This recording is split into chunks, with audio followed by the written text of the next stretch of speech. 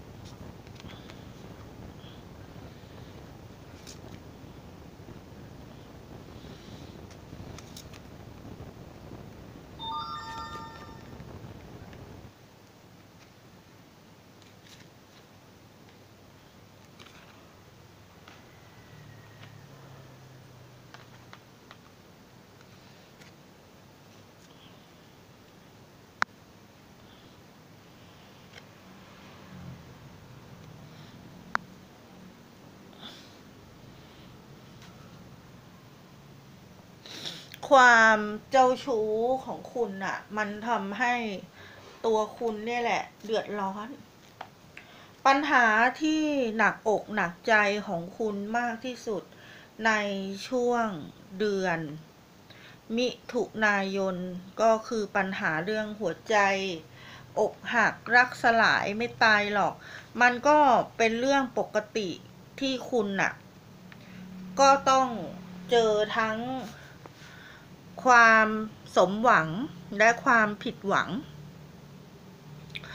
สาวโสด หนุ่มโสด พ่อไม้แม่ไม้สาวโสด หนุ่มโสด พ่อไม้แม่ไม้เนี่ย คุณอะจะมีความลังเล ระหว่างคนสองคน สาวโสด หนุ่มโสด พ่อไม้แม่ไม้มันจะเป็นอารมณ์แบบประมาณว่า คือคุณน่ะมีความรัก แต่คุณน่ะรู้สึกสับสน เพราะคุณชอบคนสองคนพร้อมกันในเวลาเดียว ในเดือนมิถุนายนเนี่ยจะเป็นเดือนที่คุณอะจะต้องแบบร้องไห้เสียน้ำตามีปัญหา หัวใจ สาวโสด หนุ่มโสดเนี่ยจะเป็นช่วงที่สับสนว้าวุ่นใจในความรัก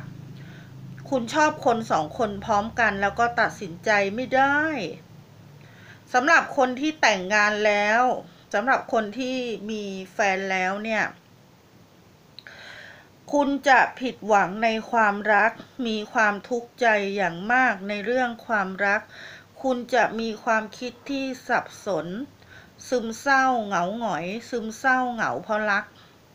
อาจจะมีเพื่อนสนิทเนี่ย มาชวนคุณไปทำบุญที่วัดนะ ช่วงนี้คุณอะมีปัญหาในเรื่อง สุขภาพจิตมีปัญหาในเรื่องหัวใจ รักใครชอบใครก็ดูแต่ผิดหวัง มีเรื่องให้เสียน้ำตาอยู่บ่อยๆ เกิดความทุกข์ใจในความรักอย่างมาก หน้าที่การงานถือว่า ประสบความสำเร็จท่านที่ทำธุรกิจส่วนตัวเป็นเลขานุกการ งานด้านอสังหาริมทรัพย์ทำงานหนักทำงานเบา ประสบความสำเร็จ ถ้าเป็นเรื่องการเงินก็ มีเงินใช้จ่ายอย่างสุขสบายไม่ได้เดือดร้อนอะไร แต่ก็มักจะมีคนมา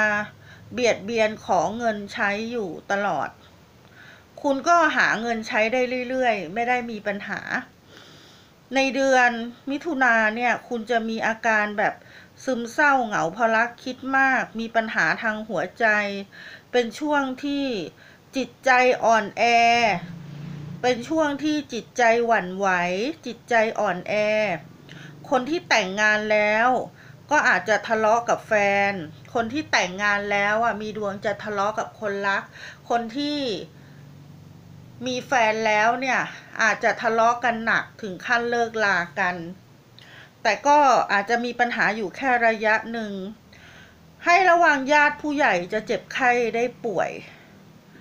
ดูจากไพ่ชุดนี้ไพ่มันก็ขึ้นสะท้อนด้วยนะว่า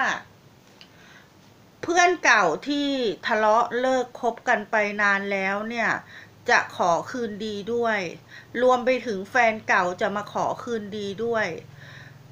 คนที่เพิ่งเลิกกับแฟนไปเนี่ย ช่วงเดือนมิถุนาเนี่ย ได้คืนดีกันแน่นอน เพราะไพ่เซตเนี้ยมันชัดว่าจะได้คืนดีกับเพื่อนเก่า แฟนเก่า แฟนเก่าจะมาง้อขอคืนดีด้วย ช่วงเดือนมิถุนายนเนี่ย คุณอาจจะได้เกี่ยวข้องกับ ธุรกิจที่เกี่ยวกับเนี่ยอสังหาริมทรัพย์อะเกี่ยวกับบ้านทาวน์เฮาส์แล้วก็มีเรื่องของอความผิดหวังอะไรสักอย่าง ถ้าเป็นธุรกิจที่เกี่ยวกับอสังหาริมทรัพย์เนี่ย ถือว่าคุณก็จะประสบความสำเร็จดีในระดับหนึ่ง ถ้าตกงานอยู่เนี่ย จะมีเพื่อนหางานทำให้ไม่ลำบาก ถ้าทำงานราชการจะได้เลื่อนขั้นเลื่อนตำแหน่ง ในเดือนมิถุนายนเนี่ย คุณอาจจะมีเกณฑ์ได้ไปเที่ยวต่างประเทศ ได้ไปเที่ยวต่างจังหวัด หรือถ้าให้พูดง่าย ๆ เนี่ย คุณอาจจะผิดหวังในความรักเนี่ย คุณก็เลยตัดสินใจเนี่ยไปเที่ยวต่างประเทศ หรือไม่ก็มีการเดินทางไปอยู่ที่อื่น เหมือนอกหักก็เลยตัดสินใจไปเรียนเมืองนอก อกหักตัดสินใจไปเรียนต่างประเทศ อกหักตัดสินใจย้ายที่อยู่ อกหักตัดสินใจย้ายไปทำงานที่อื่น เหมือนกับว่าคุณอะมีปัญหาหัวใจอะคุณเลยอยากจะไปเที่ยวพักร้อน มีดวงได้ไปเที่ยวทะเล ได้ไปเที่ยวน้ำตก เหมือนคุณอะมีปัญหาอกหักรักสลาย มีปัญหาอกหัก มีปัญหาทุกข์ใจ มีปัญหาแฟนทิ้ง มีปัญหาผัวทิ้ง เหมือนคุณอะมีปัญหาในเรื่องความรักเนี่ย ถูกคนรักทอดทิ้ง ทีเนี้ยคุณก็เลยแบบเหมือนอยากจะเริ่มต้นใหม่อะอาจจะแบบอยากจะซื้อบ้าน ซื้อรถ แล้วก็ อยากจะกลับไปคืนดีกับแฟนเก่า เหมือนคุณอะคบกับแฟนคนปัจจุบันทะเลาะเลิกลากัน ถูกเขาทอดทิ้ง ถูกแฟนคนนี้ทอดทิ้ง คุณก็เลยกลับไปคุยกับแฟนเก่า แต่จริงๆอะคุณจะมีปัญหาหนักตรงที่ว่าคุณอะเลือกใครไม่ถูก ถ้าเป็นผู้หญิงก็คือชอบผู้ชายสองคนพร้อมกัน ถ้าเป็นผู้ชายเนี่ย อาจจะหมายถึงคนที่ว่ามีเมียหลวงอยู่กับบ้านอะ แล้วส่วนตัวคุณก็ไปอยู่กับเมียน้อย แล้วก็ชวนกันไปเที่ยวไปดูพลุไปดูเขาจุดพลุอะไรประมาณเนี้ย ช่วงเดือนมิถุนายนน่ะ คุณจะมีปัญหา รักสามเศร้า โดยพื้นฐานคุณเป็นคนที่มีเสน่ห์นะ เพราะฉะนั้นเนี่ยคุณก็สามารถหาเงินได้ค่อนข้างเยอะ จะมีปัญหาเรื่องความหึงหวง ความอิจฉาริษยา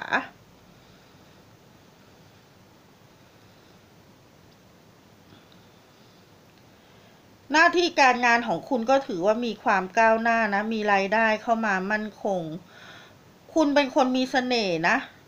ถ้าทะเลาะกับถ้าทะเลาะกับแฟนเนี่ยจะได้คืนดีกันแน่นอน มีเกณฑ์อาจจะได้ไปเที่ยวไปอาจจะได้ไปเที่ยวทะเล ไปเที่ยวงานเทศกาลไปดูพลุไฟ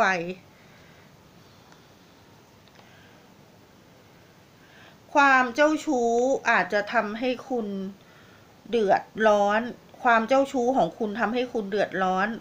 ถ้าหากคุณเป็นผู้ชายคุณอาจจะมีปัญหาเรื่องพวกนี้แหละ รักสามเศร้าเมียน้อยเมียหลวงหรือทะเลาะกันด้วยเรื่องไม่เป็นเรื่อง ในเดือนมิถุนายนเนี่ยคุณมีเกณฑ์อาจจะได้ไป ทำบุญที่วัดเก่าๆในต่างจังหวัด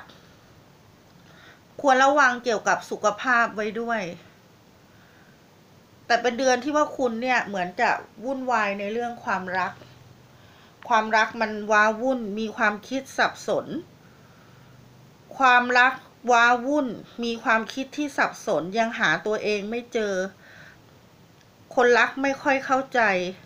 ควรปรับตัวเข้าหากัน แล้วก็ไม่ควรเพ้อฝันอะไรที่มันมากเกินไป หากคุณมีครอบครัวอยู่แล้วเนี่ย ควรหันมารักครอบครัว ถ้าคุณน่ะทำตัวเป็นขุนแผนแสนสถานน่ะ คุณก็จะมีความทุกข์ตามมาเยอะ ถ้าหากคุณรักเดียวใจเดียว ไม่ทะเลาะ ไม่นอกใจแฟน คุณก็จะมีความสงบสุขสำหรับคลิปนี้ขอให้ชาวราศีกรกฎกับชาวลัคนากรกฎทุกท่านโชคดีค่ะ